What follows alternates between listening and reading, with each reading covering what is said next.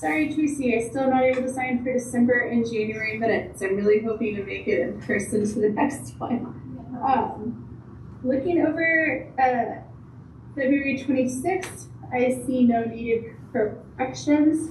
Um, however, does anyone else see needed corrections from last minutes meeting? Last month's, spelling date, last month's minutes. Great, great. Thanks, Scott and Shiona. Um, Hey Cynthia. Yeah. Yeah, just, just wanted to mention this real quick. If you have time in between meetings to just pop in during the day or whenever is convenient to sign that, the meeting minutes, even before the next meeting, it, it'll kind of get the city clerk feeling a little bit better if we get those signed. Yeah, I can definitely do that. Um, actually, you know what, Tracy, would it work if I did that tomorrow for you? Yeah, tomorrow morning would, would be fine. You wanna stop it? Okay. Let me just see quickly on my calendar. I'm working from home tomorrow, and I could stop in between ten and twelve if that Okay, that's if perfect. that works. Yeah, yeah, that's fine. Perfect. That'll help a Okay. lot, thank you. Yeah, for sure. Definitely do that. Um, hey, do we have a motion to approve the minutes from February twenty sixth? Motion. I don't. perfect. And do we have a second? Second. Great, thanks. Um, all in favor? Okay, those moment, minutes pass as written. Um, I will just make sure, since I'm on Zoom, are there any members of the public uh, in the meeting today? No. Okay, then we'll move on to new business. Um, monthly icebreaker. Did anyone volunteer for this last time? Mm, I thought it was, I thought it was you, Cynthia. Oh, thanks, Pete. Okay. Sorry. No, no, no. I, But I, no, if it, if anybody, if you aren't prepared, just whoever can think of one. No, no, no. I got one. I just couldn't remember. I I think that's correct.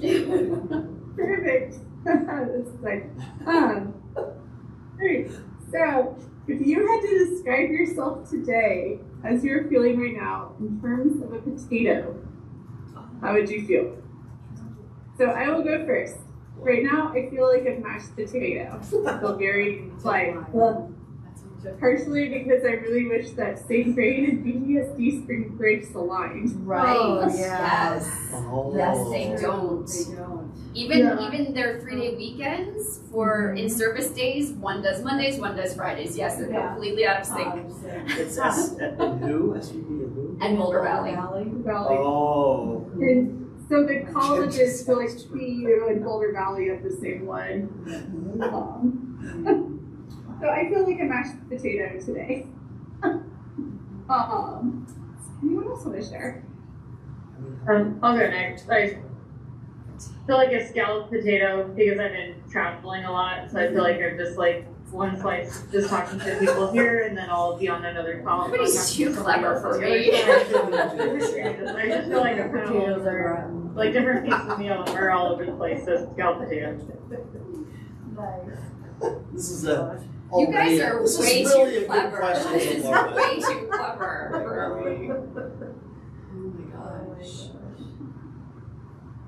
Catherine, you want? Oh, you are. Okay. Yeah, um, here, I'll turn on for a second here, sorry. It's okay. Um, I told the group that I got behind on making my family dinner, so I'm making quesadillas, I'm multitasking. Um, so I, I feel like a fried potato, because my spring break is not till the end of the week, yes, and so it's like the last death march to the break. So a little crispy, but we'll make it. Uh-huh. Um, I'll go with seed potato, just because it's gardening time and yes, I feel frazzled and hectic right now with I work from home and my nine year old thinks she should be at home this week and it's hard to manage everything and then this is the time of year to start my biggest hobby and that just doesn't seem like a good time of year for that.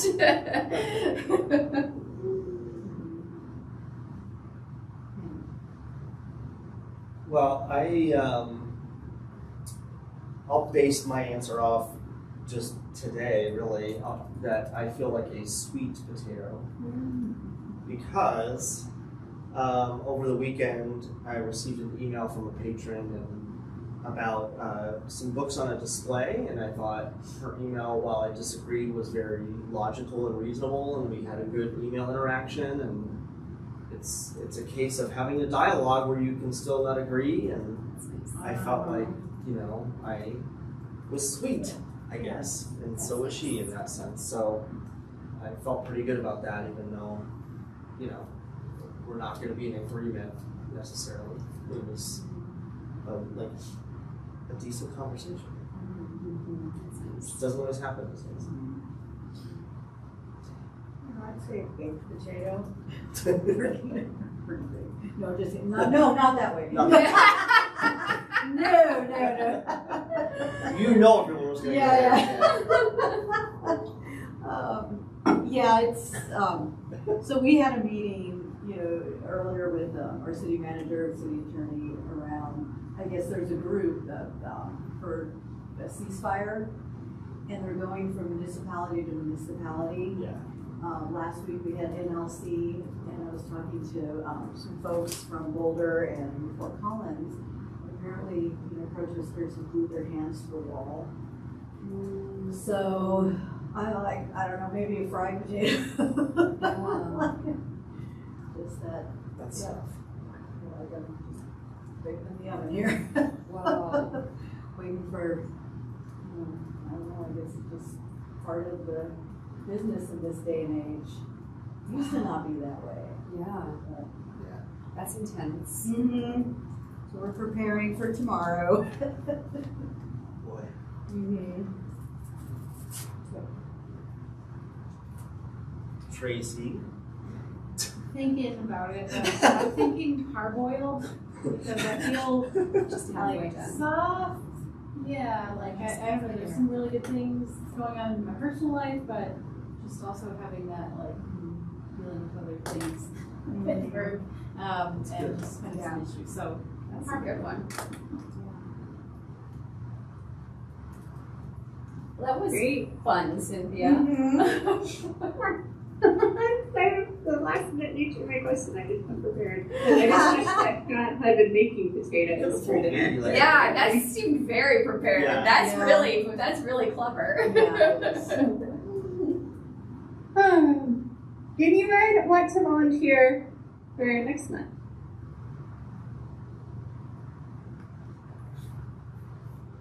Uh, Catherine said I van.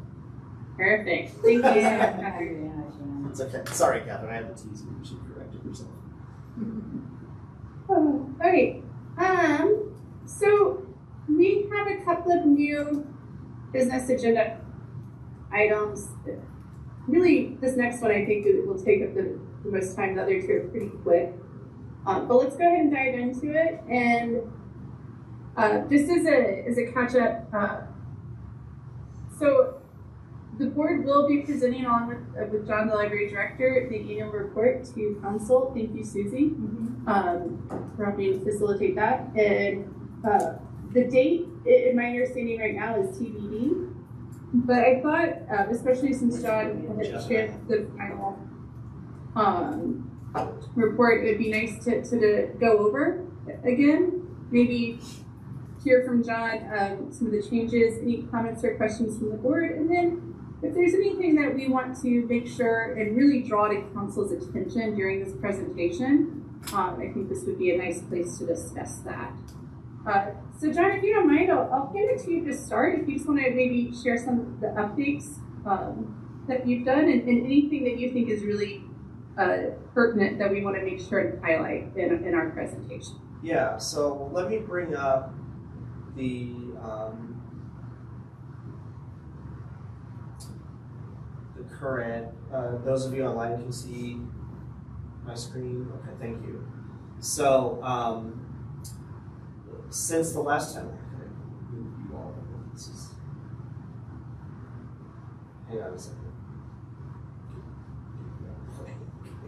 Um, I, I may have talked a little bit from this last time, but in between the two meetings, I have done a little bit of editing on some of the explanations and um, data points of the report. I think I put this in the packet too, did I? So hopefully, even either if you didn't see it, you'll have a chance to or whatever. But um, I'll just walk through a little bit uh, of how we structured this. So it's kind of in sections.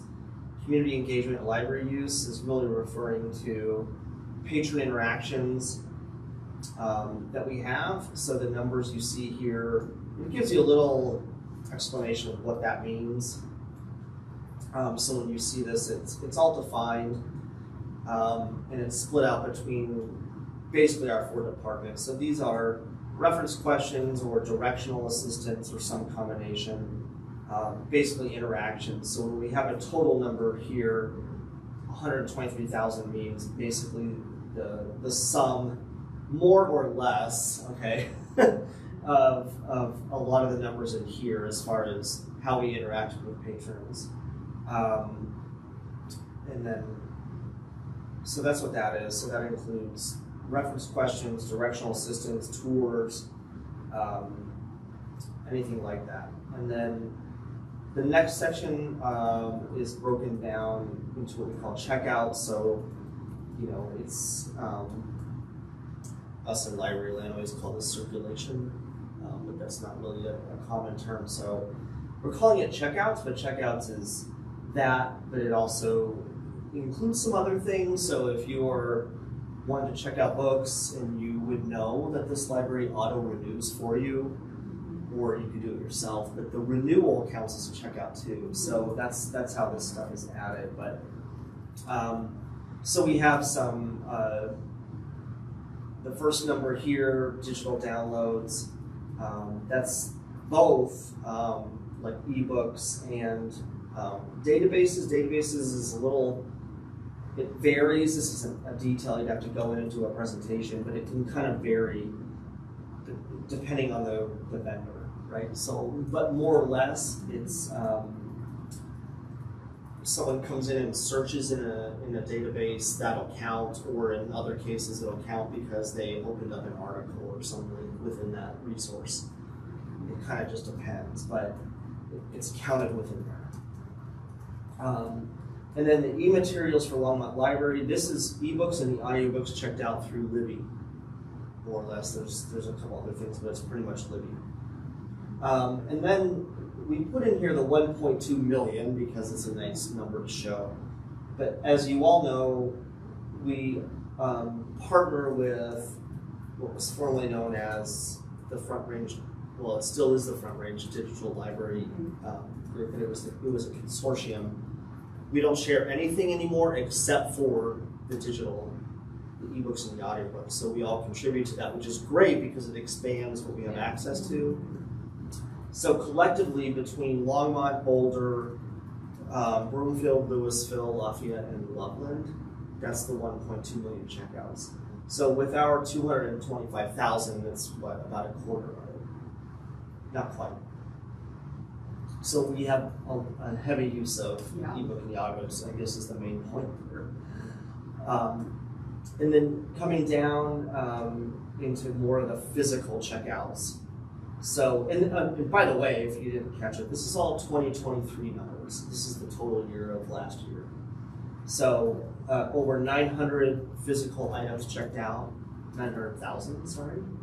Um, holds picked up, almost 70,000 holds, so there's a lot of use on that. Um, and then it's broken down into areas, so children and teen books, adult books, you can kind of see how this gets broken out.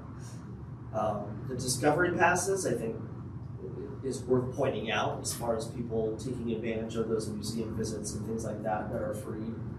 Um, 100% friend supported. Um, same with library of things.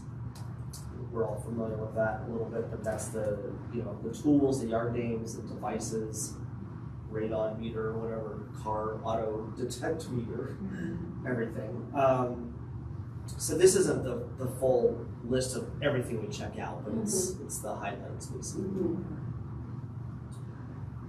Um, and then um, we issued over 5,000 new library, new member, basically, think about it as membership, yeah. Wow.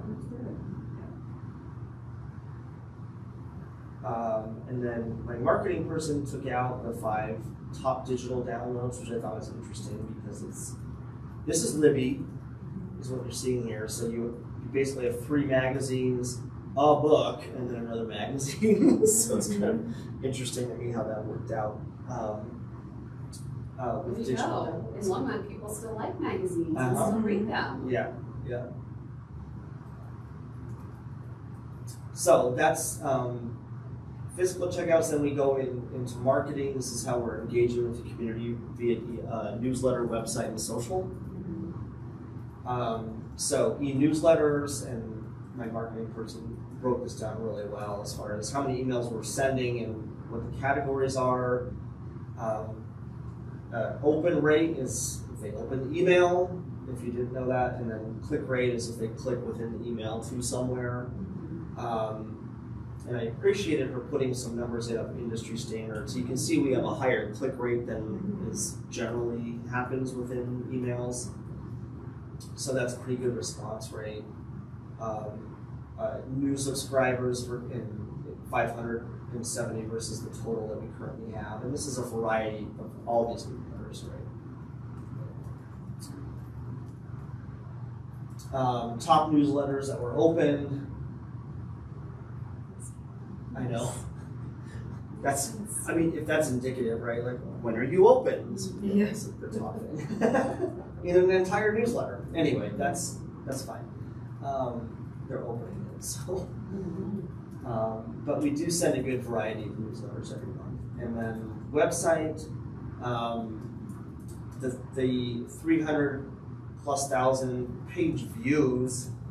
Uh, page views, if, if you don't know how web analytics are captured, it's more of a how much time someone spends on your site versus whether they just land on it and leave. And I'm not quite sure of how that's determined um, within this statistical software that's used, but that's what that means is, is the views are more of someone is spending time on your website. Um, and then the, the 10 most visited pages within our site are here. It makes a lot of sense of what you're seeing here. The library homepage, an account I would expect there. Um, and then also just to point out, out of the entire city's website, the library is the third most hit. And that is behind the city's homepage, which makes sense. The second, in case you're curious, is utilities, because people want to pay their bill. Yeah. Yeah. There you go. Um, So, it, you know, in- that aspect, we're the top hit. Yeah. it's hard to argue with those two. Um, and then events and programs, um, how many events we uploaded to our website. Events sold out. Sold out, of course, we don't charge, but when we do require registration, this is how many have we're at capacity. Um, and that's pretty good. We mostly don't have reservations for programs. Um, e-notifications sent through the website, that's something that you can sign up for within the website, which is separate from the e-newsletters that we send out. Um, and then press releases, which we get out, and those help a lot.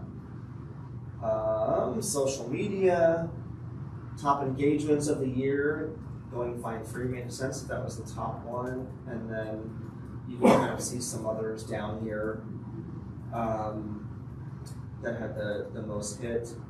Facebook results, um, which you, you see some down arrows, but you'll see down below. I mean, there's still good engagement, um, but as and then you see Instagram, which is more engagement. So But you would also expect to see some down because 2022 was still active pandemic. yeah, So there was still a lot of in and out of school, a lot of people like not going out and expanding their event calendar. right.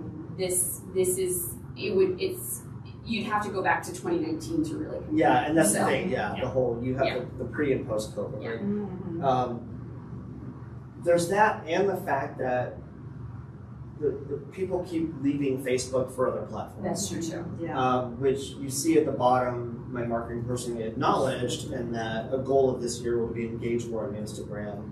Mm-hmm. As far as the other platform that we use, I realize there's other platforms, but we're not on. Mhm. Um, so that's in essence um, the report.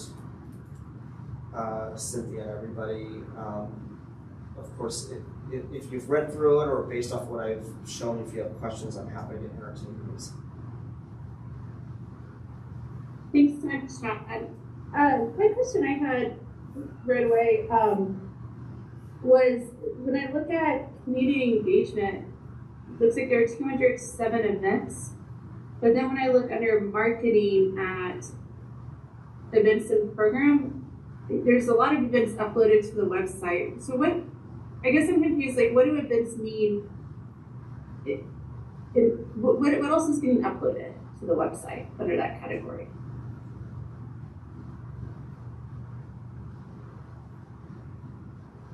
Okay, hang on.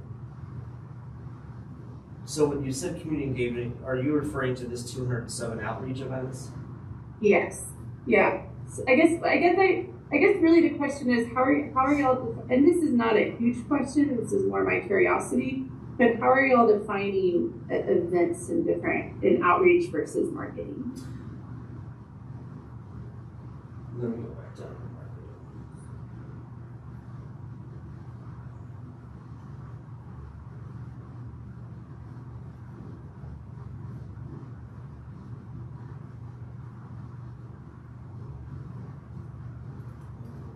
Oh, I see. Oh, it's it says community engagement outside of the library is what the outreach events are. Yeah.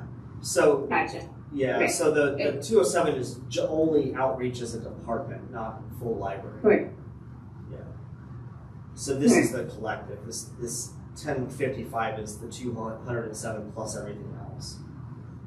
But that seems like an important number to highlight um, in our report. Just the, the scope, like the number, and I'm sure the scope as well of events. overall. Yeah, and if you think of this it's an 1055, like, I mean, up 1055 events uploaded to the website is every program. We upload everything to the website. Mm-hmm. So we basically provided over a thousand programs in a year.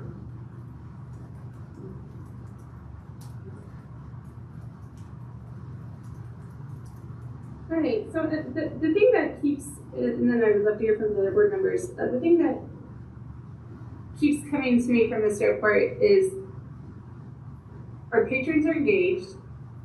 You know, there's a number of libraries in the consortium, and we're what one of six, but we have almost a quarter of the e-materials checkouts. Um, you know, third website under utilities and city website. It's just once again we are an essential service, um, or we, the library is an essential service in my mind. Um, so- that, that really, this report brings that to me very strongly. Um, Other board members, what, what do y'all think? Any Questions, comments about this report? I guess also kind of a smaller things, just curious, this looks really great, it's helpful to have all these numbers put together to kind of get an idea of all the work that goes on. Um, and this might be, um, too soon if you haven't discussed it yet, but I like seeing kind of the social media numbers near the bottom that showed kind of the year before and then the changes to now. And so I know this is the first one, but I'm just kind of curious if moving forward, if there's been discussion on kind of where we might want to have this kind of um, information in other parts of the report as well, just to show kind of like maybe like, oh, we've served this many more patrons this year, or maybe it goes down, or just kind of like what areas we're showing that change or um, having more activity up, up or down might be helpful within the report as well for future years. Yeah, so um, you're right, and what I can tell you is, um, you're right. This is kind of our first stab at this, right? So, you know, with with the social, um, my marketing person was able to easily grab that with the other numbers.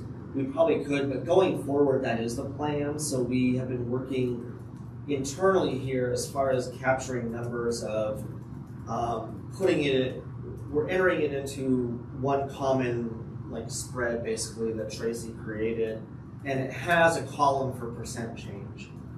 What I can do with that, and what I'm going to start doing going forward, is probably taking out some of these numbers. I don't know if I'll make it as pretty and fancy as this report, but something that um, can show on a quarterly basis, like this is where we are now in comparison to where we were at last year.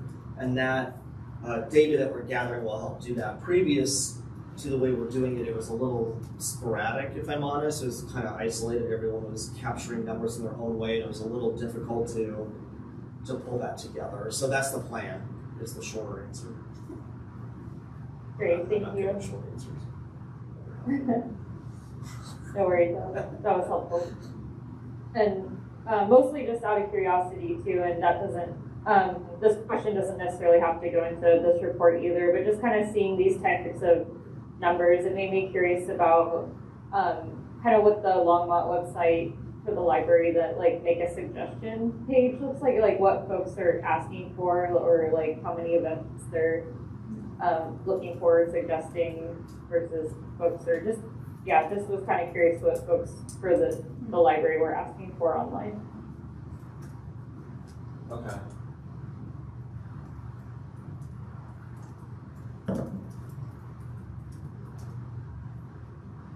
Thanks. Those are really great comments.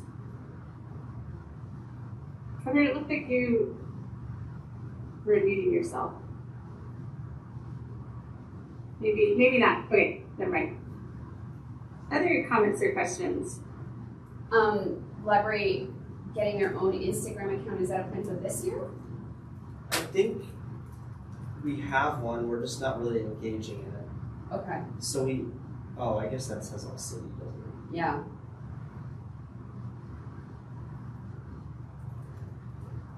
Oh, I see. So we don't have one. I just re- I read this wrong the first time.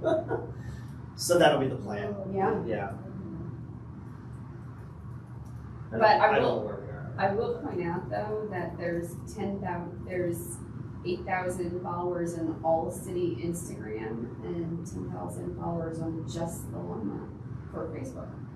So Yeah. hopefully it won't take you long to build up those numbers. Although I know it is frustrating, a lot of the city departments don't have their own accounts. So I'm really glad that the library finally does because not all city departments get there. The senior center would love to have their own and don't get there. Yeah, it's a process. So it's really nice. Yeah. So, so yeah, it's a, I wonder how much of a process it is for you guys to get your own Instagram account. And if you kind of have to kind of start all over. You know, we're, we're I mean, we're lucky that we have our own marketing person. I mean, she doesn't work for me per se because she's a part of the city's communications Mhm. department, but I would say 85% of her time is only on the library and then a small percentage for citywide activities. So I feel like we have someone that provides a good voice for us in that respect. And given the library's engagement on the website alone and just recognizing that, I think it not be a hard argument to say that we need our own social Agreed. presence. Yeah. Agreed. Yeah. Yeah, so hopefully it's not too much of a process to, Yeah. to get your own Instagram. So, what's some of the things that when we do present, um, I mentioned already the website being the third most viewed website that really impressed me. Uh, the ebooks and audiobooks, uh, I think that one of the issues that the libraries run up against, or that all libraries do, is people don't realize how much of the activity is virtual and the support needed for that. So, really making sure and pointing out the um, high number of e-material checkouts, downloads, and, opens. Yeah, Um, digital digital use, Cynthia, is huge as far as presenting because I think there's, and even just kind of thinking back to the election and some of the comments I saw from some citizens was feeling like, well, I come to the library, it's not busy, so why do you need more? Well, why we need more is because we have all these people that are exclusively using our services online. Mm-hmm. And just because they're online doesn't mean we need to support that better through staffing and collections. How much time will you have to present? Do you know? No. I don't know much about this process. I have to check in with, with my boss Jeff about this to see. Well, Susie may know. I mean, with presentations, I feel like it's a little more wiggle room. It's not like Yeah. public comment where like you No, have three no, you minutes. have like, three minutes, yeah. no, there's no time. Can I follow up on this point? Um, yeah, please do. Oh, I was just gonna say, I mean, I almost wonder if that deserves its own slide. I don't know that you can do anything, or at least like a big discussion, but I think that's a really valid point, and engaging with that potential counter argument could be really important in terms of trying to continue to turn the tide on funding for the library, like, yes, it is about physical space and the actual footprint of the library and having a branch library, all things we want. And there's also this totally nebulous side of library science that none of us probably understand. That is the virtual lending side of it and what that takes, not just like for whatever services provide that, but the personal aspect. And I never thought about that. I never, considered what that someone. So if possible and you have the time, I guess I would encourage, if not a whole slide on it, at least, you know, whatever discussion.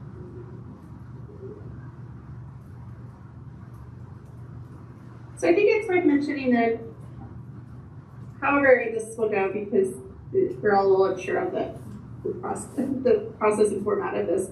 Um, the notes I'm writing down really try to emphasize digital use, uh, and then large number of patrons for exclusively using these services online. And, I think maybe emphasizing, John, let me know if I'm out of line with what the library's doing, but it seems to me that they're, um, the library really strives to provide equal service uh, to all patrons, those who use uh, the materials, spaces, and resources in person, as well as those who are only digital. Um, and that the you know that that does mean staff needed to support that. Um, Yes. but really stressing that like equal that that all are viewed as patrons of the library equally, whether or not they can make it in person or not. Right. Correct. Yeah. Um, and I also think the nine hundred thousand. I mean, that's almost an item per person of the city's population. Um, it's pretty. It's not. You know, it's nine tenths of it. So it's, pretty impressive that uh, the print items that are circulating are, are, are at that high level as well. I think. And I think speaks to the strength of Longmont's collections. Um,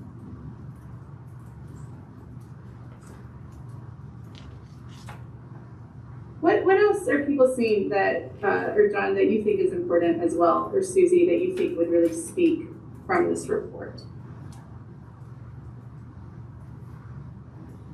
What's the population of Longmont right now? Hundred thousand. Under- It's right over a hundred. It's really went up.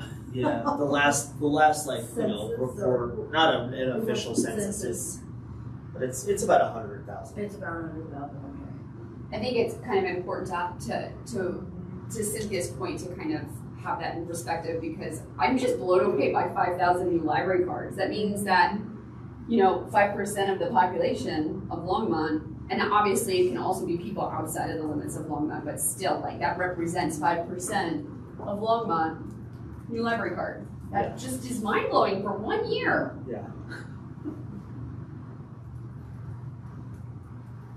Especially when you think about the fact that we don't let our stu- our students just automatically get library Right. cards. Yes. Yeah, true, true. Yeah, I think um,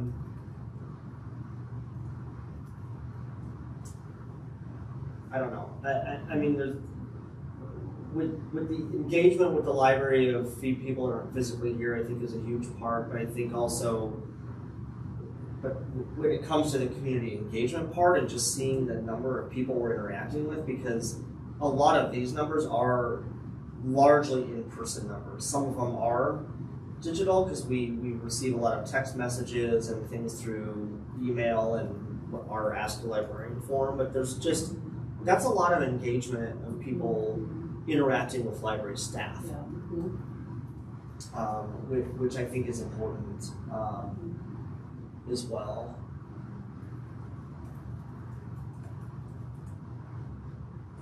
Even like, I don't know how you can get this data or if this is something readily available through other cities, um, annual reports, but just comparing some of the numbers, know, as far as patron served or um, events and programs to be able to compare with other municipalities our size. I mean, now, you know, if, if it's, I mean, if it's something that you're gonna have to be digging for, don't, don't bother. No, I mean, there's, through, through the state library, you can, you can run, you can look at anyone's library numbers. Okay. And, and in fact, I've, I've done that and I'll even address it a little bit in this meeting when we talk about our budget requests coming in the next year, because a lot of what I did was point out of libraries you know, of similar size and uh-huh. how much more they're devoting to library services than we do. My point being that we need to catch up Yeah. so that you, you can get the numbers. Mm-hmm. Cool. Yeah. Boulder Public also does, I was not able to find it in this a very quick minute, but I was looking the other day, they do list theirs pretty easily found on their website, so that would be an easy one Yeah. as well. And Boulder is one of, you know, it, it's a little more realistic just because their population, it's more than Longmont, but it's closer. But then you get it into some of the other neighboring towns, their mm-hmm. populations are half of Longmont. Yeah. Although some of that can be telling. Like when I'm looking at what we're spending on collections and things like that, Uh-huh. you know, um, within our own consortium, like Loveland, who's smaller, but the amount of, of dollars we're spending on Yes, collections and programs is the same or more than Loveland. Wow. That's good too. Good data point. I don't want to go too far outside the numbers. I think that's always tempting to read too much into reports like these. But thinking about the, as John just pointed out, the high number of staff interactions. I mean, seventy thousand like reference slash information. It's, it's amazing. Um, I think that that has to speak to the word, like the friendly nature of the library staff. Um, so I think that's something to to add as well. Um, I don't think you get that if people are not comfortable with the approachable nature of the library staff. I don't think you get that if, if people are not comfortable approaching the desk.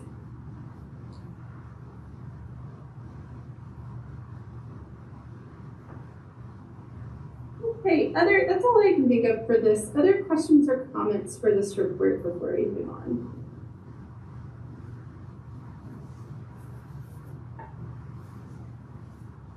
Right, and John, if you just will let us know once you hear uh, from your your boss kind of what, what the time frame looks like for presenting for this, that would be great. Yeah, I, I, I think it would be in April, as far as I could guess, but I, I'm just not sure which, which day in April. So I will follow up and then, you know, once we have a date, whoever is planning to present, we can certainly talk through this in more detail and come with a plan. Great. And uh, uh, as chair, I will be happy to if it works with my schedule, and it sh- it should. I'll prioritize this. Um, but if not, I'll, I'll reach out um, with Catherine as vice chair to the rest of the board members and see what the interest is. Okay, moving on to our next library agenda. Get right back to my right screen.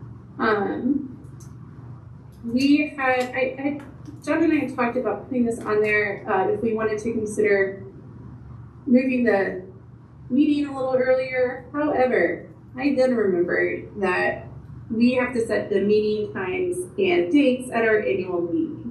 So that agenda item really is a non-starter, uh, but maybe something to consider for the next annual meeting, which we'll get to in the next bullet point. Um, if, people would want, you know, a six thirty meeting time, I know we all have such busy schedules. Does that still make sense? Is that worth reconsidering? Um, okay, that brings us to uh, library board membership under new business. Um, hopefully, y'all saw the email from Tracy, and uh, both mine and Rihanna's term are ending in June 30th, 2024. Um, I will not be eligible for reappointment to this board. Uh, I think I'll be termed out. Um, Brianna, you will be, it is my understanding as well. Um, so I think that's just of interest. I mean, if that is of interest, are you something to consider? Um, so we will definitely have at least one vacancy. And I'm wondering, Tracy or John, do you know when, or Susie, when the, um, when the new appointments will be? For boards? I can look it up.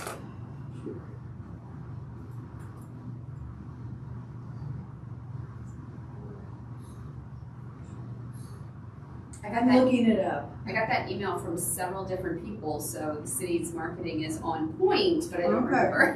Oh, okay. It's even in the newspaper. Oh, good. So I saw it a number of places. So the deadline is Friday, April twenty-first, and we will be interviewing applicants on Saturday, June seventeenth. So April twenty-first is the deadline to apply. A deadline to apply.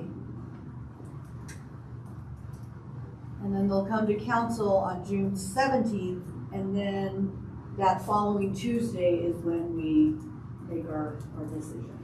In between applying and June seventeenth, I think it, we, at least in the past, the board does our, conducts our own interviews and then passes yes. those on to your, Yeah, who the candidates are a- for that meeting, so there'll be a a, longer a time board frame. interview in between there. Mhm. And and so I'm not sure, I need to look back and see what happened last time. Um, but I'm, I'm just assuming that those names are passed to us from the city. Um, I, I guess you probably, Tracy, to, from the city, and then we'll set up those interviews with those candidates. Yeah, the, the city clerk will send them to Tracy and myself. Right. And maybe the board, I don't know, but at least to us. US usually. Yeah, and then, And then we'll pass them on and then the board can, can come up with, um, a panel and a decision on interview dates and then whoever that is, you know, those names then get passed on back to the city clerk and then to city council for that interview. Okay, so I'll add that to a later agenda. Uh, well, wait, April seventeenth? Yeah, there's no later agenda. There is no later agenda. That's our next, that's our next meeting, isn't it? Yeah. Okay, so, um, let me, I, I did pull the questions that we asked last time. Um, and I was thinking, uh, a couple of things that we need to look at, and then who is interested in interviewing, I, I will be, um, but if one or more, I think that'd be great. It's not something you need to decide right now, but once we know the dates, um, maybe, hopefully we can have at least one other volunteer for one or more of those dates. Um, and then the, the questions we shared last time, I'm gonna put them in the chat. Hopefully that works. Um, uh, but I, I like these questions. Sorry, my I didn't have my mouse today, so my I'm trying to go from one screen to the next, and my cursor's like all over the place. Um,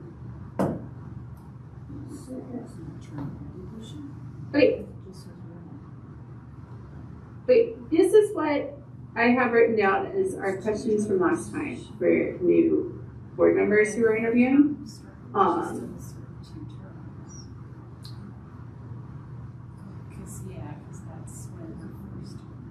I mean, there's a little wordsmithing I might do on the Can you share a little about the impact you believe public libraries have on the community?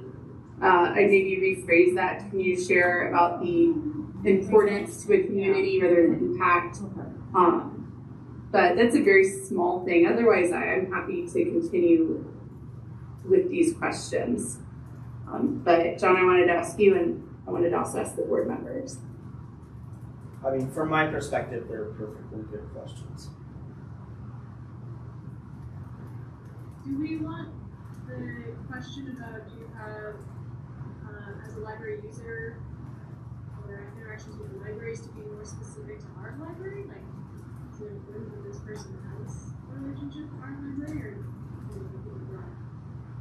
I think that's a good point. In my mind, I'm fine with keeping that broad because I, I think that people new to the community, um, that basically, I, I don't mind where that experience is coming from.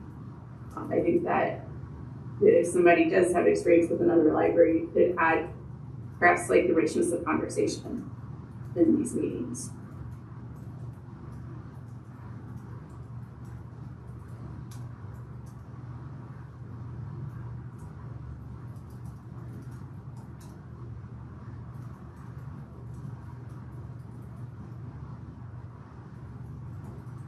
Any other questions or points or um, about that?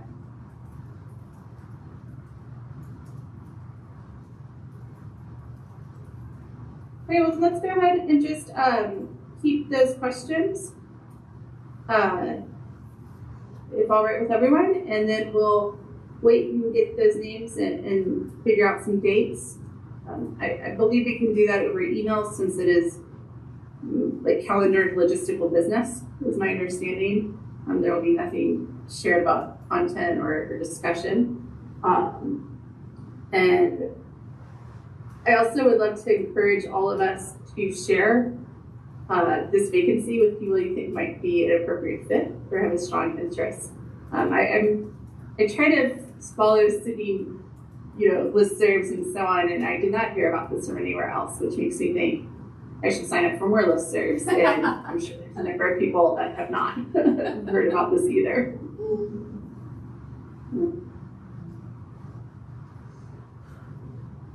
Other, other, there's another piece to this agenda item that I think we need to discuss.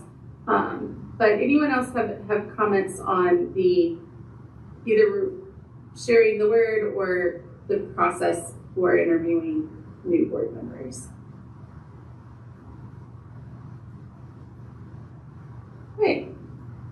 So here's the other piece. Um, the annual meeting is where we set the day and time is, is the second meeting of the board after a new appointee. So I will be stepping down before that, if that makes sense. Um, so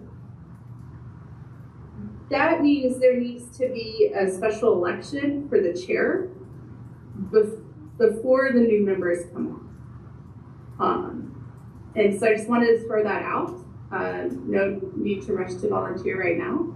Uh, but in my understanding, and I'll double check this, um, is that that will be the meeting after, like the first meeting after I'm not on the board anymore. Um, there needs to be an election.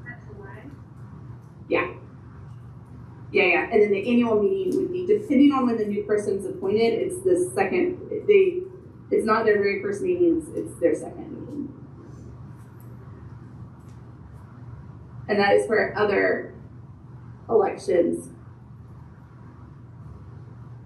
So essentially, can be held. Yeah, but the other elections of officers, I guess, I guess technically you could like elect a chair for a month. Um, I, I don't think that would be worth it, but uh, the election of other officers, such as the vice chair, um, the Friends of the Library liaison, uh, would happen at that annual meeting, the second meeting after the new member joins. Cynthia, when when um, Mark's term ended though, and he was the chair, I feel like the election of you being the next chair happened before he was done. Yeah, it did, but I don't. It did. Mm-hmm. I mean, that doesn't mean we did it right. No. I just was pointing out that we, we it was all settled before he was off and we had new members. We can all we can check into this. Yeah, let's check into that because that makes way more sense. I mean, it somebody really has to run does. the election for one thing. So I'm, I think my understanding is off, basically, from hearing that because that it makes much more sense to elect somebody, you know, to have at least one meeting um, to handle. I think Tra- Tracy and I can look into that, and then I, Great. I, and then maybe in, in the next meeting in April we can to talk about that, and then even in May there could be an election if I'm right. if we're right. That would be great. Yeah. And then I would be there for the June, that's what Mark did. I would be there for the June one, but somebody else would be leaving. Okay. Thanks, John. Um, other concerns or other interpretations than mine?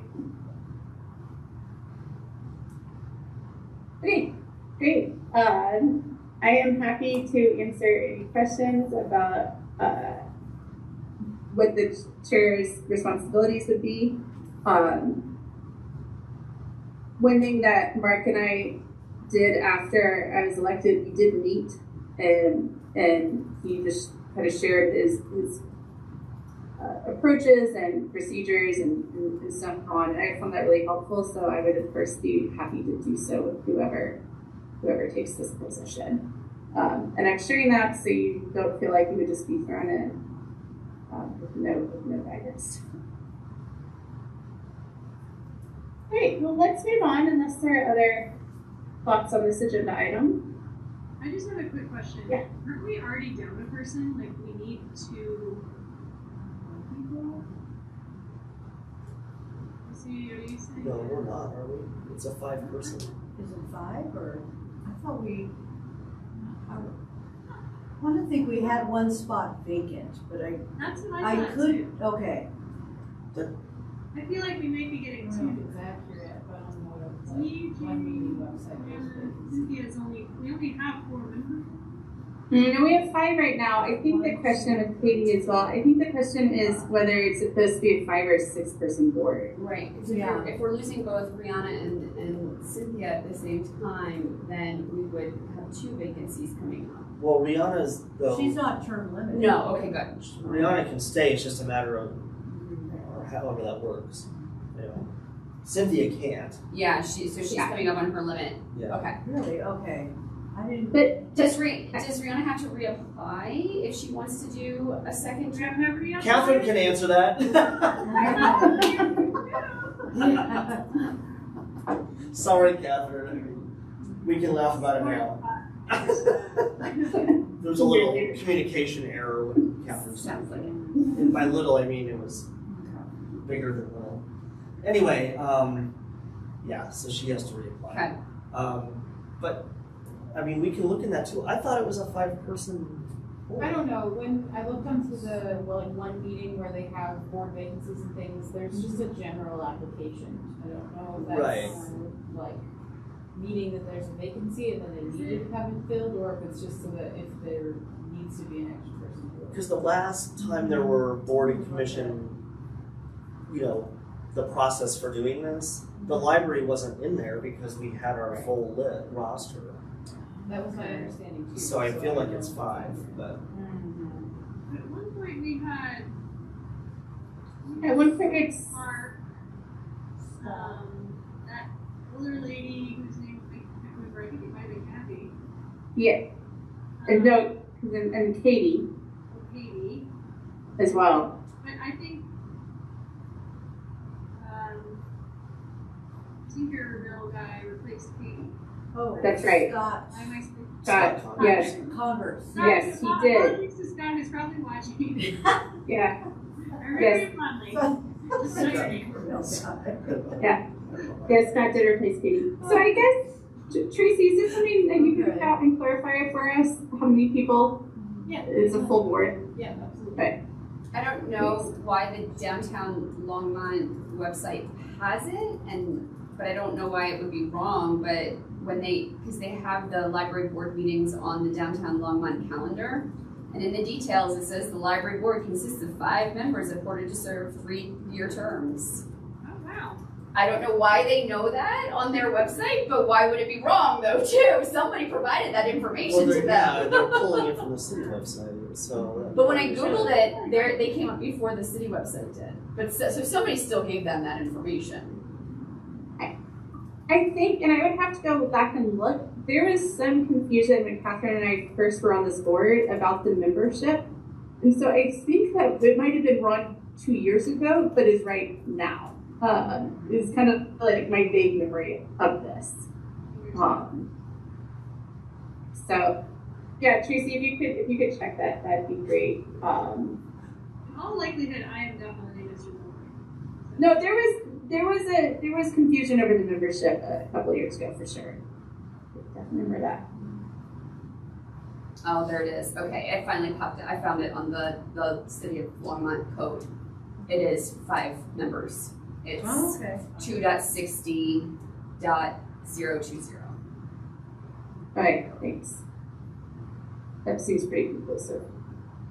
Um, okay, other comments before we move on to old business? Great. Well, next up is just a, a budget update, and um, we have that on there because I think it's going to be uh, something I really want to communicate our uh, sorry, my dogs are barking, our support or the budget to council.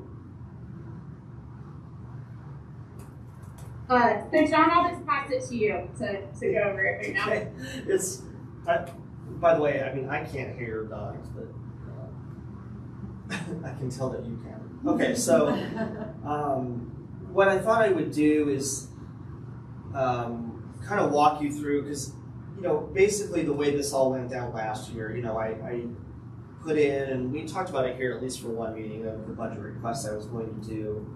Um, and because of last year with the decision of, I, none of my budget requests that I put to the city were approved because it went to the election. So my intent this year is to pretty much put all the same budget requests back in. With some modifications, you know, either to the numbers themselves, and there's a couple of items I will put back in there. And I can kind of talk through that. So um, I, I can share again and, and kind of walk through. This is basically the um, presentation I did last year um, with the city. So, uh, yeah. Okay. Um, I'm going to skip through. So the, the, the budgeting process, they have what's what's called level one and level two requests. Level one are things that you can't control, right? So think of like utility rates going up. Like you have to have the budget to cover it.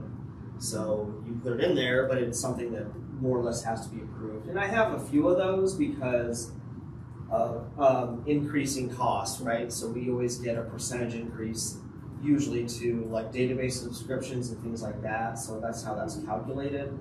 Those will be in there again like this, and it'll probably be a different number. Um, but those will be in. And the level one I got approved last year, but it just wasn't real significant to what I was asking for. The real meat of it is level two, and you, you can almost kind of think of it as this is what we would like to have, right? I mean, so um, I had requested a pretty substantial increase to staffing, staff training and professional development. Um, and uh, my justification for that, again, comparing to other libraries who spend significantly more than we do, our current budget for this is only 5000 for 75 people.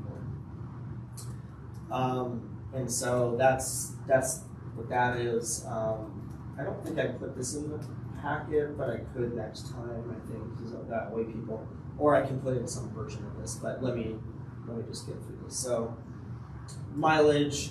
That's because of outreach. We didn't really have a mileage allowance, um, and we need to. um, so it's not real sexy, but it's there. And actually, this one got approved um, this year. Uh, same with telephone because we have more people with um, work cell phones. So um, uniform, I put in more. We have a very nominal amount now, but I'd like us to be presentable if we're out doing events or things and have coordinated uniforms and such. But we don't have a budget for it, so I have to basically pull it from somewhere else within our budget. Um, you think about other departments outward facing within our own division of recreation who you will never not see them in a polo shirt or a hat or something that shows where they're from, and the library doesn't have that. Um, and then we get into collections. So this was my last year request to increase our adult book collections by. This doesn't mean a thirty-six thousand dollar budget. This means adding thirty-six to the existing amount of um, a hundred and some thousand, I think. So uh, the justification here, again, uh, th- th- this bottom paragraph gets into comparing us to other communities that spend substantially more than we do on collections. Uh, and this will be reflected throughout. So that's adult collections, children, same thing, right? A different amount, but same logic. Um, and this is a lot more because we currently spend a lot less. Um, ebooks and in e-audio, um, that's adding to the current budget of which I think is like ninety-five thousand. So spending about twenty thousand more would put us more in the ballpark of what someone of a community this size would spend on e-content. Uh, and then same logic for children and teen, e-audio and e-books programs and events. So this gets into a budget that is non-existent currently in this library that almost any other public library has. We've talked about this before. Um, we are right now 100% funded by the Friends of the Library, or we don't do programs and events at this library. So, this gets into adult, what would it take? So, and again, the numbers may change, but basically, last year I was asking for 10,000. That would be a combination of supplies and and the ability to bring in presenters of some sort, you know, contract people, an author maybe. Um, in like a big author event, that's where the friends would come in, right? So something larger um, that our standard budget wouldn't have. But this this should absolutely be a part of our operating budget. It's as essential as collections. Um, and so, same for children and teen, same logic, almost the same explanation. And again, I get into what other libraries spend on programming events. Um, and then we get into some personnel. Um, temp wages, you know, don't worry too much about the language there because that's city language, but it's basically our part-time staff. And so they, they kind of come out of a bucket of money and we need increases to personnel across the board, but temp wages is a way to, um, I mean, it's the existing part-time staff we have, but what we don't have is the ability for any of those part-time staff to work maybe extra hours because we have a need for them. Like, can you come to this outreach event and help? What happens now is if they do that, they have to trade out hours for a regular shift, which then shortens the library.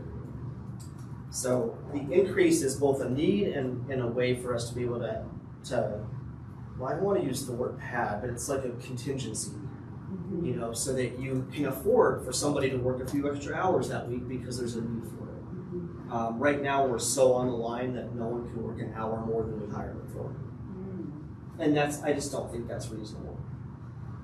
Um, outreach is the big ask I had last year. It'll be the same this year. So we have outreach department of one, as you all know.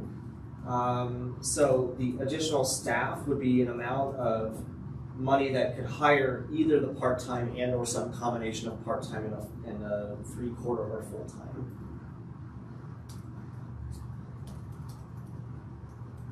I- know I'm going through, but I'll, I'll this out next time so you can read through my justifications. Um, uh, a full-time librarian to support our, our current outreach librarian. So my current out, outreach librarian would become basically a division head and then have a full-time out librarian supporting that. Um, that's what that is. Um, this is the coordinator and what it would take to move the, my existing person up to a level of being a division head within the library. And then their the supplies budget, you know, um, to support that. To, to think of outreach right now as I, I refer to it as a department, just like we have adult, children, teen, and circulation and tech services. Outreach isn't considered a department right now. I'm I'm thinking of it as a department, and that's why you're seeing all these numbers. We need to make it a department, basically. Um, then we get into more collections, so new digital projects. I'm sorry, products. Um, that number would get us more in line again of what we should be spending on digital materials for a population of this size. And if, if I'm asking hundred thousand, you can see how far under we are. Um, which this paragraph explains. Um, some spend as much as five or six hundred thousand a year. We spend less than hundred. Um, dues, dues and subscriptions, it's, it's kind of a combination of things, but, um, so, some of it's like maintenance agreement and things like that, but some of them are new, so that's why it's under a level two and not a one. That's exactly what I was wondering why that one's not level Yeah. one. Yeah, Okay. um, yeah, I'm actually trying to do this quickly, what I want to do. Although I indicated a one to two percent increase, so I wonder if this actually should be a level one. That's something I'll probably change this year. Oh, yeah. Um, we have a computer lab coordinator that's three quarter time. Our computer lab is busy. We added teaching classes twice a month. This person is responsible for all the staffing schedules and coordinating and of these classes and coming up with the topics and scheduling staff and doing the trainings for it. So it'd be good to have that position to be a full time, which honestly doesn't cost that much in the big picture. Mhm. Uh, more temp wages or circulation department, same reason of it as everybody else. There's just no way for anyone to pick up an hour or two because someone is sick. Instead, we're just short staffed. Um, the storefront library I put in last year, and I, I doubt I'll put it in this year. This was sort of to go in there along with having a branch library and to kind of show what having a different type of library would look like. Um, I still want to talk through that with my boss and some others of whether I put that in, but the amount it would take to staff a storefront library of being 1.3 million, um, it, I don't want that to over. Then it looks like our, I'm asking for millions of dollars in a budget. It's not realistic to do this this year. I need to get some of this core stuff done, Sure, so I, I may not put that in this year. sure. Um, I wanted to hire a consultant to do strategic planning. I may or may not put that in this year. We have some resources here that can help with that.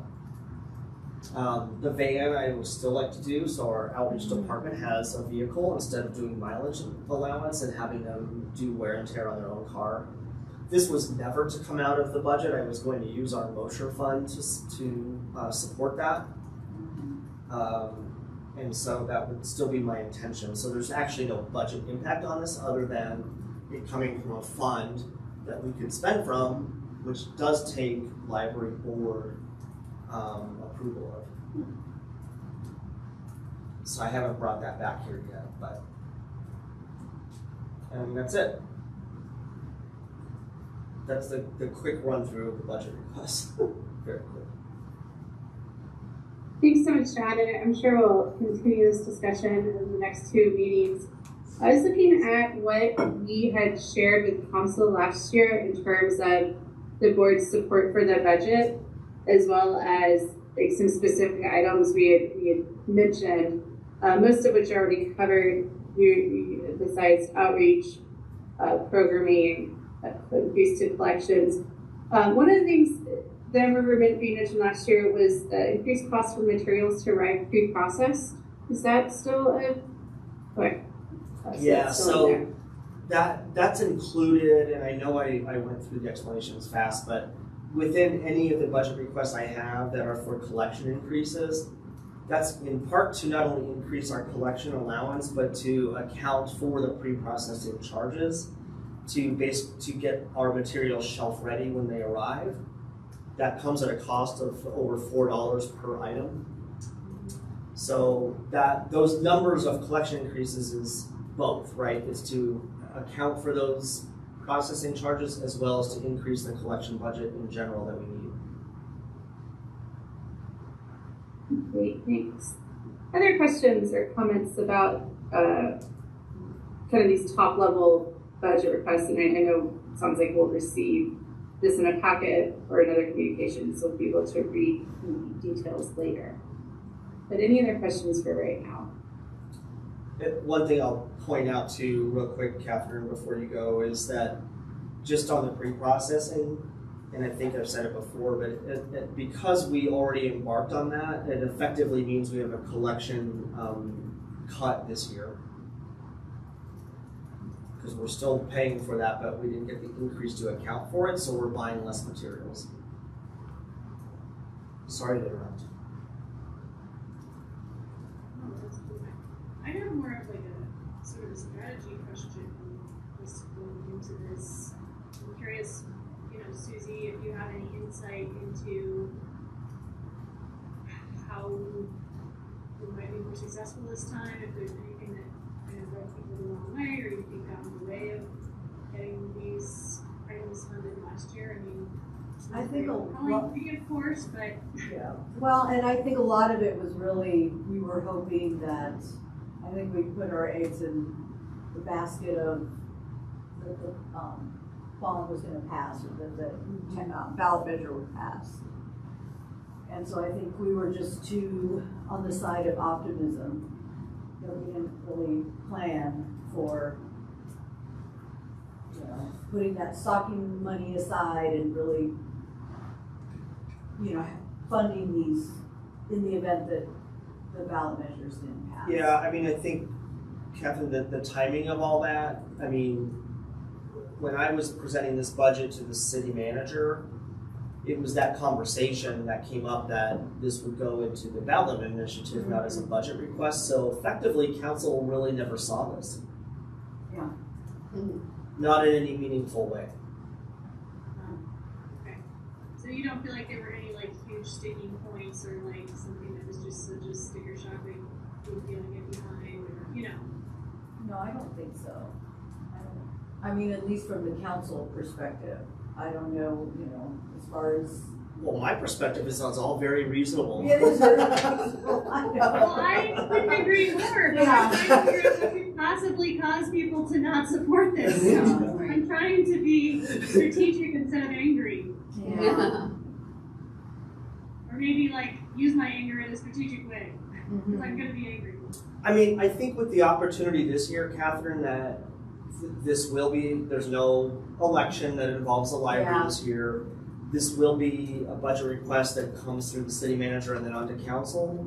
Mhm. So, I mean, I think having these conversations and having the board an opportunity to either come to council, write to council or what, in between now and Yeah, budget time and, and kind of, you know, get in their radar and in their ear about the importance of this, that timing is now.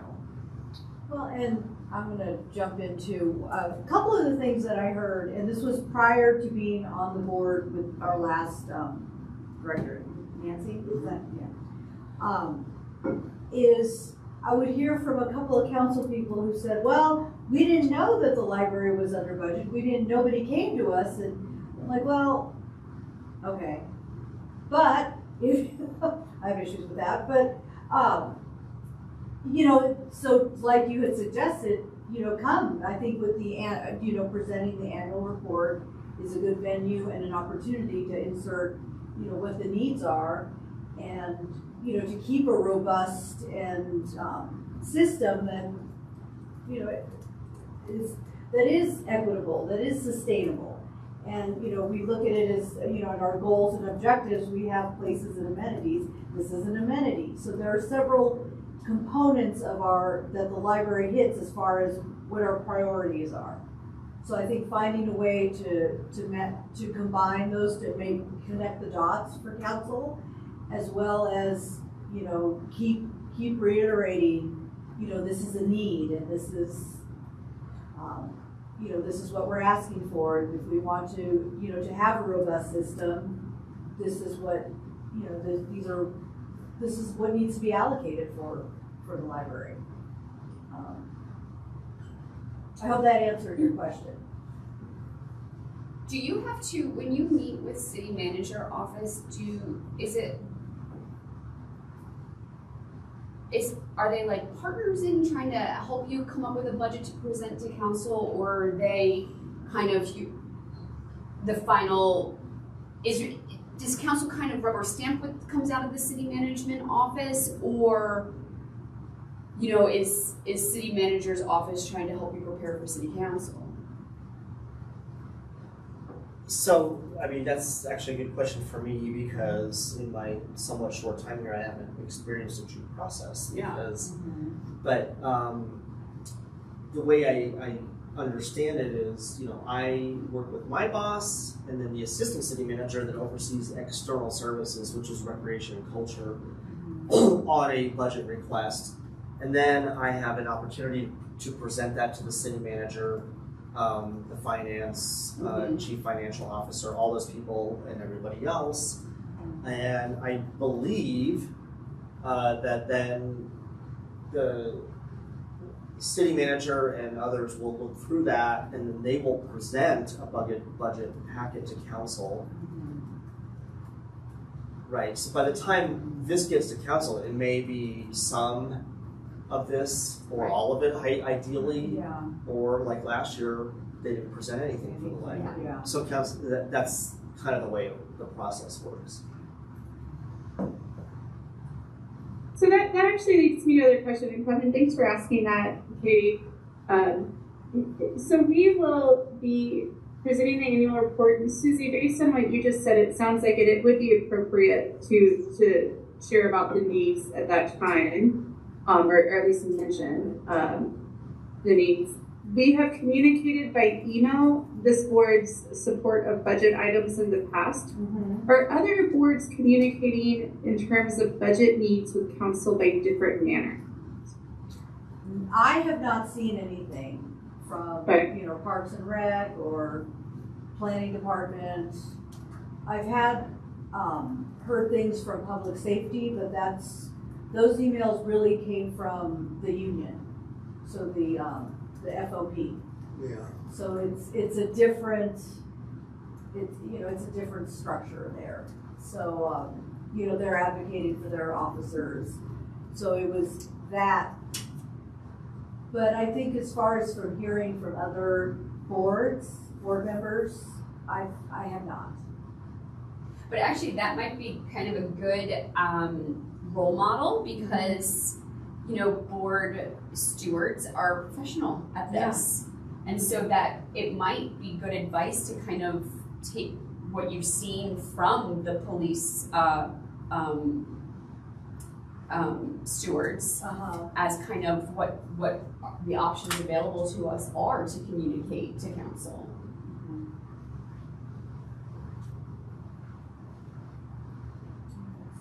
So r- right now, we'll be communicating with council in that report. We'll be emailing council. Uh, it, it sounds like not yet, but maybe after next meeting we can discuss that. Um, we sent out a communication in June last year. I'm not sure if that timing should have been earlier. I mean, last year it didn't matter, but I'm not sure in an ideal world if that timing should be earlier and in May rather than June. Um, it- are we missing anything in, in terms of strategically communicating this?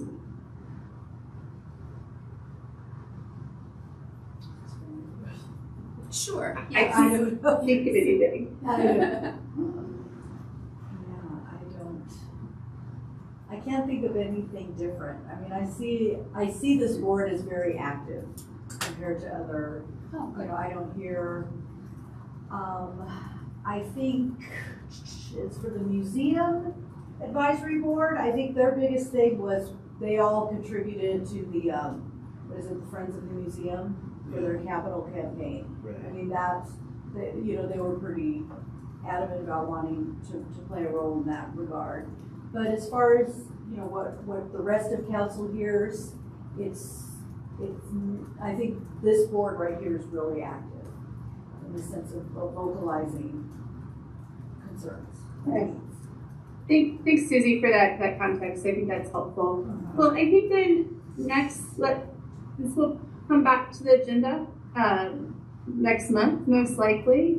And, and maybe at that point, we can discuss as a board, uh, what our recommendation to council will be and what we want to emphasize within that recommendation.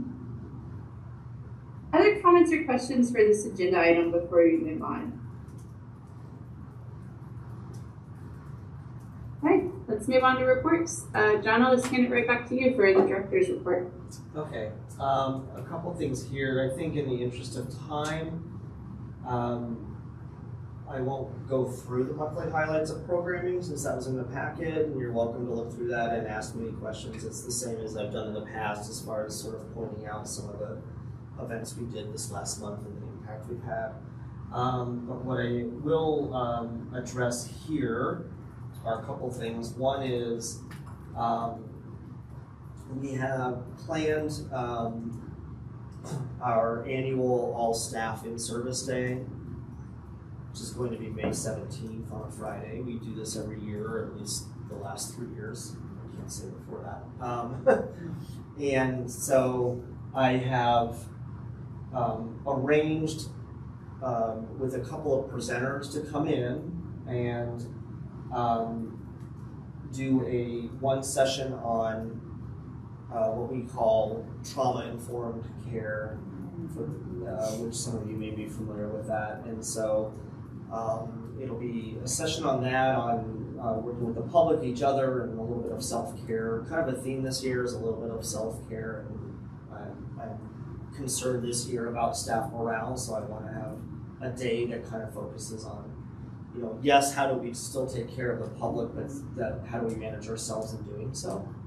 Um, so that's a big theme in that presentation. The other um, presenter I want to bring in um, will be more on the EDI realm, or DEI realm, however you like to say it, and um, that one will really focus on allyship and um, supporting each other through experiences that staff can face and have faced, such as microaggressions and blatant racism or other things, um, either from the public and hopefully not from each other, but we still need to have a better sense of this to support each other. So, big two big themes there. Um, one of the reasons I wanted to bring this up to the board here is my hope for these presenters is um, to pay for their presenter fees through our Mosher fund um, because they I don't have the budget for it in my standard budget. Um, and I think it would be appropriate the Mosher Fund outline of how we can spend that is very broad. It's just basically for any library purposes. So there's really there's really no rules about it as far as a fund and how they're structured. Sometimes they can be very specific on what you can spend it on. Um, so I actually have two things there. One is very specific to staff day. The other is I want to um, use some Mosher funds to help support our summer reading program. Um, this would largely be in the support of getting back into the, the temp wages category. So right now, um, we don't have enough hours to support the summer reading program we do. I had hoped that minimally I would have gotten the temp hours I needed within children's to support summer reading, and I didn't, obviously. Um, it wouldn't take that much. It would maybe be about, I think, I say not that much, but when you think about multiple staff and for three months, I'm looking at to pull out about 20,000 from the Mosher Fund and then another um, 6,000 for the presenter fees for staff day. Um, for so for summer reading, that allows some of these part-time workers to work extra hours during the summer and really support that program at the level that we would like to support it. Um, and then the presenter fees are what they are, which I explained. Um, because it's the Mosher Fund, um, I can spend from that, but it, it, it does need um, a board uh, motion that, that says, for what I've explained, the board agrees that would approve uh, me pulling from that fund for these things. Great, thank you so much, John. Well, it sounds like there is a vote motion that the board needs to make. Um, I am happy to make that motion. I'm very much in support of both of those items. So um, I move that the board uh, permits use of the Mosher funds for staffing to help support summer the 2024 summer reading program and for presentation fees for staff development during an annual in-service day. And Tracy, I'm happy to support that. Kevin, is that a second? Or a? Wait, and, and we do have a second. Um, and this point, we could also discuss as well, um, in my understanding through rules of order. So I'll, uh, the motion is been made and seconded, and I'll open the floor for any discussion. Okay, thanks. Katie, any comments? Uh, no, Wait. the response. Oh, Thanks, that's what I figured. Um, Well, then, at this point, let's, let's go ahead and move to a vote. All in favor? I, And I can, oh, I see three hands, and so I'm assuming, oh, Uh, yeah. She said yes. Katie, I, yeah, I'm not Every- showing. I'm not showing up on it right now. It's not connecting with me to camera, but that was an eye. Oh, there we go. Eye. okay. So the motion passes unanimously, and, and John, you have the board's support for use of those funds. Tracy, do you need me to repeat any of that? nope, we're good. I got it. Thank you, you're awesome. Yeah. Great. Um, Okay. yeah, thank you. Back. That'll, that'll certainly help us a lot with these uh, couple of initiatives. Um, what is that word? Mosher. oh, it's the name of the person um, or people, the family. Mosher is their is their name. Yeah, it's something that I wasn't aware of when I first started. I found it out by accident in a way. Someone asked, said something about the Mosher Fund. I'm like, wait, what, what is that? That sounds like money I have. and um, so basically, yes, this family um, committed a certain amount to the only the library, and we can spend only on the interest accrued in this particular setup. However, since no one has been spending on it, there's a sizable amount there, which makes it a little bit easier to, to pull from it for these things and not feel like I'm going to deplete it. Right. So even what I'm asking for is, is a fraction of what's there. Nice. Um, yeah. I just say Mosher like I did- you I all mean, know. obviously. I didn't. I didn't care. Obviously, that seemed like a minute detail to whether or not it was a yes or no for me. But like, just curious. No, that's a good question. Um, And, and just to jump in, I'll tell you too, a couple of years ago, the board, Catherine might remember more details, uh, kind of revamped and set procedures uh, for approval of use of those funds, which is Great. Um, so that that that is also kind of a newer process as well. Nice. Um, okay, and then the last thing I have in my uh, director update, I wanted to update the board on some work that a committee within the library and I have been working on to revise our re- request for reconsideration, uh, also known as challenges to the collection or programs or displays or exhibits. And I've wanted to revise this part partially because it's outdated and also in part because and I think I might have mentioned this the last meeting, but the state was working on a, um, our, our legislatures were working on legislation to basically have a ban on book bans. Well, that, that's been died. That died in committee. Uh, it, it's, it may resurface in a different form with different sponsors at some point. Um, but some of it made sense, and, and, and the parts that made sense are what's informed some revisions that I want to make here that I just want to share here in case there's any questions or concerns, um, which I would like to walk through uh, with you here uh, as quick as John can do that. Um,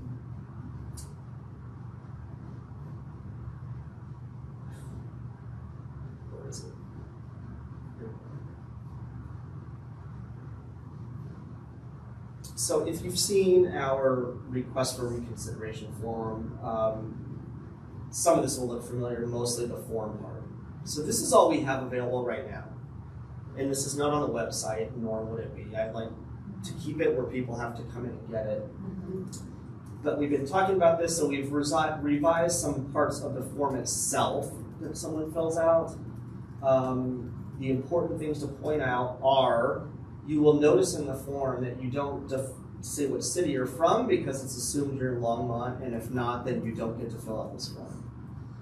Um, the other part is a library card number. This is new. Or what I should what I should say is this would be new. We haven't implemented this yet. Um, So staff agree uh, between residency and the fact that if you're a library user, you should have a full access library card. Uh, and then you have the right to challenge or fill out a reconsideration form, some something that you object to. Many libraries do it this way, so I'm not inventing something Okay. new. Um, and, and it kind of it helps eliminate groups and others from outside. This is what happens in a lot of other places around this country where people flood the system because they just file challenges because there's no policy in place to prevent it. Um, so there's really no need for that. It's kind of setting ourselves up for something that is unlikely here, uh, but I want to make sure we have it in place. Is Niwot part of the Longmont Library tax area? No. Okay. No. Yeah. Yeah, our service area, as we call it in library land, is the city of Longmont. Okay, good. Um, and then a minor revision, I say minor, we used to just ask what they were requesting and let them free text it, but now we have options, so you can choose one of what you're challenging. Um, if that's the case. Um, and then all the other questions are the same, I think, that we ask now. Um, a little statement at the bottom, um, we've revised a little bit, um, that it will be reviewed by myself and as needed professional staff. And I, uh, this used to say that it will go to a committee. Committee, yeah. Um, and sometimes that will be warranted and sometimes it won't. Um, you know, so I, I didn't want to have it there that we formally have a committee and that someone wants to see minutes from such a committee. Um, because I don't always need a committee. Um, sometimes it's, it's very clear to me what the response is. So I usually confer with staff, but that might be more informal, particularly if someone is the selector for that area of the library that something is being um, asked to reconsider. Um, that's one change there. Um, otherwise, I think uh, the rest is the same. So if they're if they're challenging a program or a display or collection, the program isn't canceled, the display stays up, and our item stays on the shelf until this is resolved. That's always been the case, by the way. Um, um, I share these with the library advisory board. I think when I was new here, I didn't do that. I shared with you after the fact, but I'll make sure I do that going forward before I uh, respond officially to uh, a, a, per- a patron that may do this. Um, and then my decision is final, and you will hear within a month. So that's the form. Um, and then all of this up here is new, and so we never had any explanation of request for reconsideration. We have a collection development policy, which kind of outlines a little bit of this and how we go about it, our philosophy. We have a display program policy, which explains that so people know how we come up with displays or programs and how to comment on that. So I've added, um, we as a, as a committee here in the library have a lot of uh, information here as far as how does this come about. So what do we do here? This is kind of a summary of our collection development policy and display. It explains some things as far as things that are obviously critical to us, right? First Amendment, freedom to read, um, free access to library materials for minors, intellectual freedom, all these things that inform how we operate as a public library. So people have the opportunity to hopefully look at that before they might reconsider to understand where we're coming from. That would be the ideal situation. Um, Will that be on the website, that document? this document will be on the website. Okay, but then the form. And then it will say at the end, if you still want a form, come into the library. Okay. Yeah, no, I do want this on the website. Mhm. Um, Because I was looking at the, links and yeah, exactly. Yeah. Um, you know, so the some other um, items in here. So uh, just because we have it in our collection or it's a program doesn't mean that you know it'll, it represents our viewpoint of something, which is which is true. Um, we have a statement in here about a public library not being legally responsible for children while in the library, which is really important for us. I think a lot of times we get complaints as people feel like, you know, we weren't protecting their child. Well, that's also not our role. Mhm. That's the role of the parent uh, and or guardian or whoever is in charge of that that child in the library. That's always been the case in our public library. Um, and let's see, we'll get down. Did I put this in the packet by the way? Yes, it's just Yes. a slightly different form. I oh, you're right because my marketing different. person formatted the form.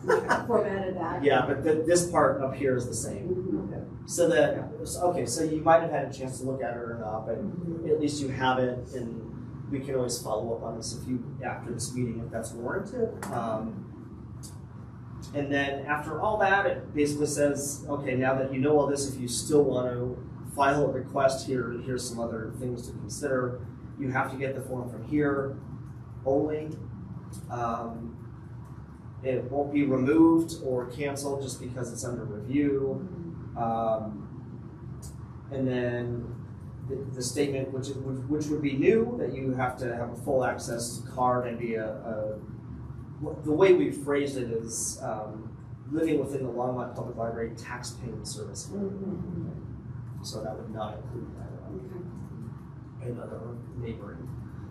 Um, and then some of these are new and some of these I think are good and a lot of libraries do and also this was a little bit informed by some of the legislation that might have gone through uh, in part, right? So um, you can only have one request for consideration active at any given time, so we can't get people putting in one person putting in for multiple things at a time. Um, and an individual or group can only put in two per year. After that, you have to wait. Um, once it's um, upon resolution, either the item, the display exhibit, or program um, cannot be challenged again for three years. So we, we've instituted the statute of limitations in some way. Um, how did I come up with three years? Because that's what a lot, a lot of other libraries do. So, in case you were going to ask that question. Um, you have to fill it out completely, so if it's anonymous or incomplete, we just basically won't review the form. And you have to do a separate one for each either material display. That's why we list it out these separately, so you can't check them all and put in one request. So that's me talking through that, but um, you know, outside of uh, this advisory board having any comments or concerns about it, my next step would be probably I have to look this over. It's not necessarily an official policy, so I don't know if I need to send this to city attorney's office for review or not. It kind of gets into some legal language, so I might just do that to make sure I'm checking all my, you know, I would recommend it. say that again. I guess you can talk offline too, but um, I don't have any idea how this works. You just? I mean, do you have the authority to make these policies? Because I could definitely see people saying, "Well, my, you know, who says you have the authority to do this?" It would be good to have like an actual city backup of that. Some of these feel, and I support them one thousand percent, but I could see someone feeling like this is pretty restrictive. Yeah, we talked about a lot about that as the committee. Uh, basically, the committee I'm referring to is all these selectors in the library. So, professional librarian staff and myself that have responsible for the responsibility for the collection. And we we actually had some good discussion about that. You know, it's like, well, just because you don't have a library card, but if you live in the city, you're still a tax-paying resident, and therefore you're contributing to the library on some level. So, should we restrict that? You know, at the end, the consensus was basically it, it made more sense to do that. Well, I agree with everything you have here. Okay. Percent. I just want to make sure that if somebody challenges your authority to set these rules, you one hundred percent have the city attorney's office behind you. It, that's a very good point, and I, I think that will be my next step is to send this on to the city attorney. That way, it, it is reviewed and basically stamped in that way. Yeah. Yeah, I agree. We know, like, from the city's relationship to you and your role, like, this is within the parameters of your job description. Because I only ask this because I'm researching all this stuff in this paper right now, and there's all these crazy city councils and other places that are like basically replacing the library director with some kind of a puppet director who will like do their bidding, you know. So I just want to make sure like nobody who is that kind of um, minded person might try to undermine our authority. Yeah, I appreciate that, and I think in, in some of the places where that kind of activity happens, in large part, um, it's with different governing bodies, so they have a board of trustees or a decision-making board, and so that's where it can get bloody, and then they're making the decision over the director or over library staff. In the case here, with an advisory board, it's it's obviously it's not set up that way. So, um, but but it's a good point. I mean, okay, so outside of that, who sets it? Well, I am as the director, but you're right with with city legal review and approval. I I want to make sure it it makes sense. I, I think you should have that authority. You're the trained people who know do this, but. Yeah, I humbly agree. um, yeah, I could follow up with like a over last meeting. Yeah, I would appreciate that. You know, if, if, if you want, since you have it, I I appreciate any feedback. It's I haven't moved anything forward except for getting this draft completed for this meeting.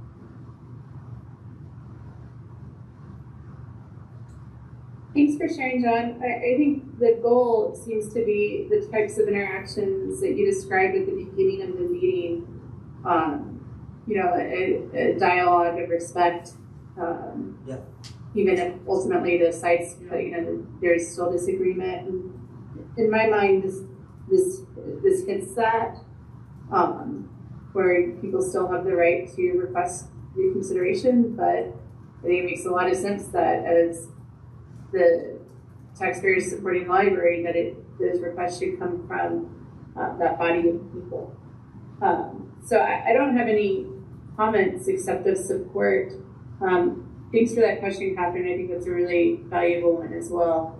Any other comments or questions on this?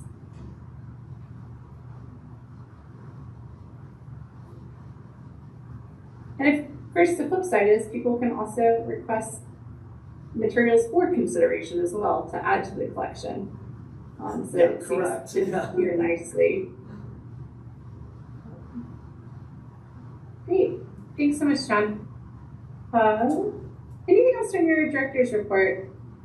Uh, no, that's that's all I have. Okay.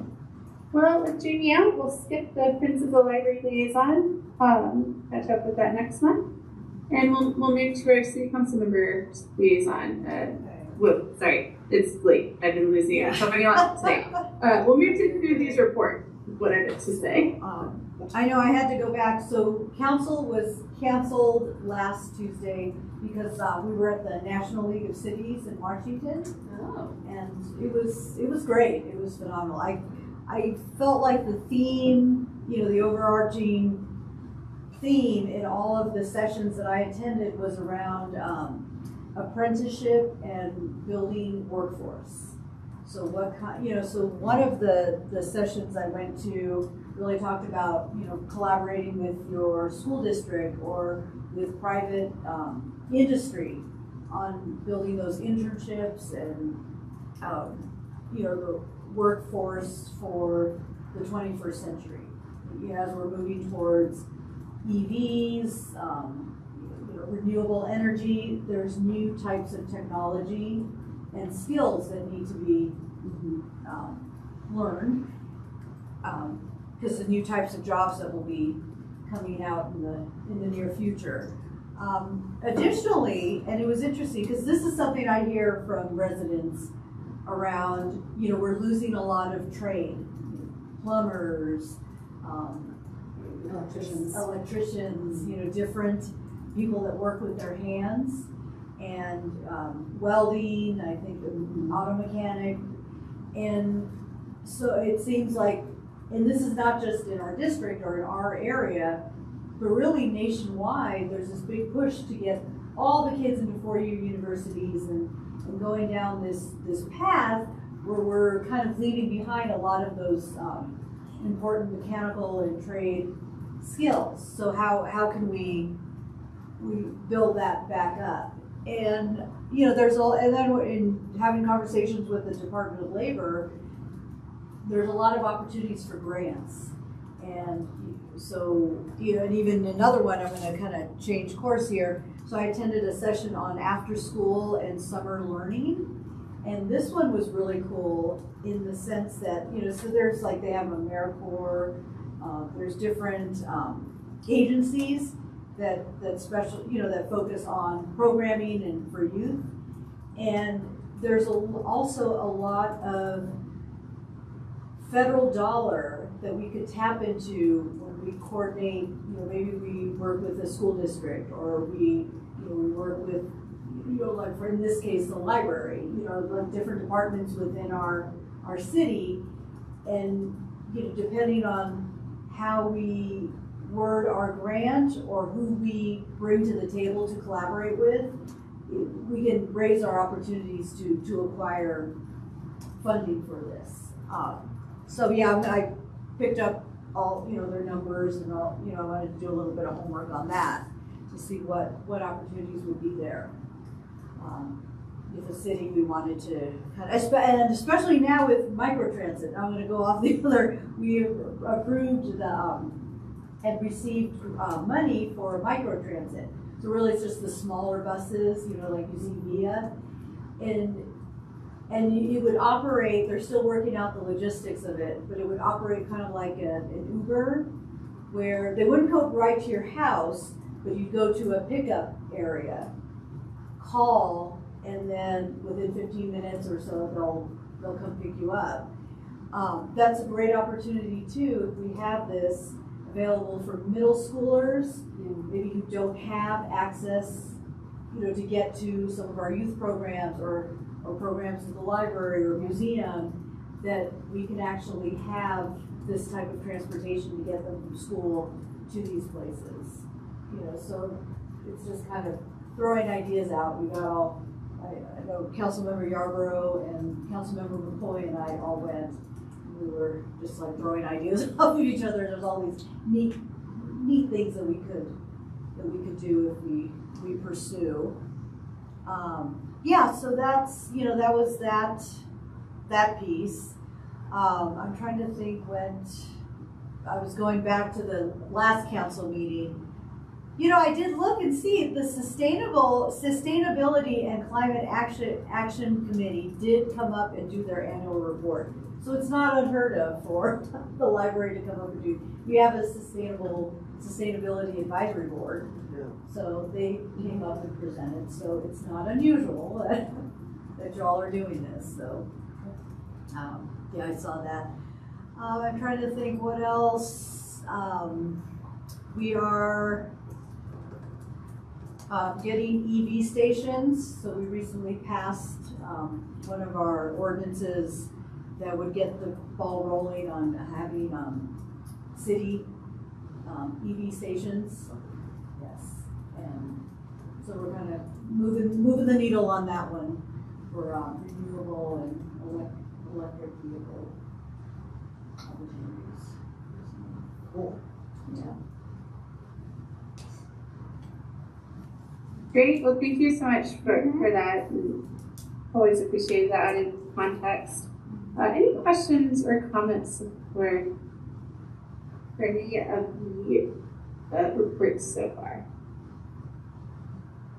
Okay, well, I don't have anything for library profession news. We did just learn that that uh, bill was killed in committee, but um, I don't know if anyone else has anything they want to share about the greater world of librarianship right now. Not library, Amy? I, not library, but I forgot to mention we were on the, I rode the train with Yeah, Gov- the governor. you did. Yeah, One of the ones on the I was. I was one of the ones on the Yeah, you train did. from Denver Union Station to, um, Here. here to Longmont, yeah, so as part of that, um, Front Range Passenger Rail.